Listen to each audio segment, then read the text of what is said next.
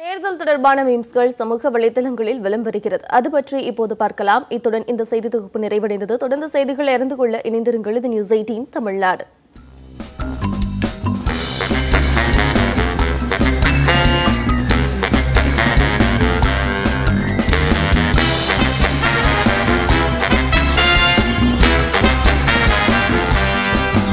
இந்தியாவிலேயே ஊழல் குற்றச்சாட்டில் கலைக்கப்பட்டது திமுக ஆட்சி மட்டுமே அப்படின்னு சென்னையில முதலமைச்சர் பேச பங்காளி அம்மா எதுக்காக ஜெயிலுக்கு போனாங்க?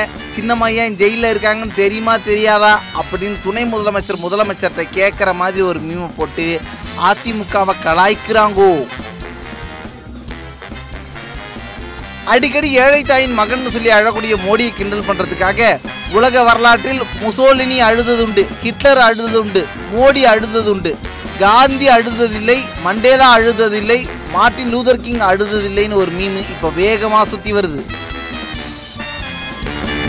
ஸ்டாலினும் துறைமுருகனும் பேசிக்கிற மாதிரி ஒரு போட்டோவை போட்டு ரைடு வருதுன்னு ஃபோன் பண்ணி உஷாரா இருங்கன்னு சொன்னேன்ல அப்படின்னு ஸ்டாலின் கேட்குற மாதிரியும் அட போப்பா நீ ஏதோ ஏப்ரல் ஃபுல் பண்ணுறேன்னு நினச்சி ஃபோனை கட் பண்ணிட்டு படுத்து தூங்கிட்டேன் அப்படின்னு துறைமுருகன் சொல்கிற மாதிரியும் ஒரு மீம் போட்டு திமுகவை கலாய்க்கிறாங்கோ. துரைமுருகன் ஏன்பா ஸ்டாலின் உனக்கு தான் ரைடு வர்றது தெரியுமே அப்புறம் ஏன் சொல்லலை? அப்படின்னு கேட்கும்போது நீங்க தூங்குறீங்கன்னு சொன்னாங்க. அதான் முக்கியமான விஷயம் இல்லைன்னு சொல்லி விட்டுட்டேன்னு ஸ்டாலின் பதில் சொல்ற மாதிரி ஒரு மீன் போட்டிருக்காங்க.